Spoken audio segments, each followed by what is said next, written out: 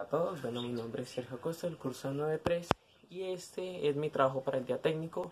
Hoy les vengo a explicar acerca de los organigramas. Bueno, ¿qué es un organigrama? Un organigrama es fácil, es, la es una representación gráfica de la estructura interna de una empresa u organización en la cual se ven reflejados los trabajos y las actividades que tienen que hacer cada una de las personas. En este caso acá vemos un ejemplo. Antes de pasar al ejemplo, entonces eh, vamos a entrarnos un poco más en el tema. Entonces, existen varios tipos de organigramas. Entre esos se encuentran los, los organigramas de jerarquía, que son los más comunes, como los vemos acá. Entonces empieza desde el presidente hasta el que barre los pisos.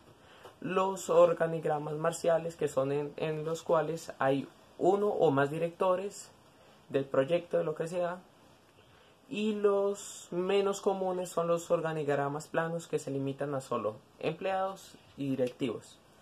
Existen muchas formas de organizarlos, entre eso se encuentra de derecha a izquierda o de izquierda a derecha. Eh, se encuentra también organigramas horizontales, verticales, circulares y mixtos. Los mixtos combinan entre los horizontales y los verticales. Como ya dije, uno los puede escribir así, de derecha a izquierda o de izquierda a derecha.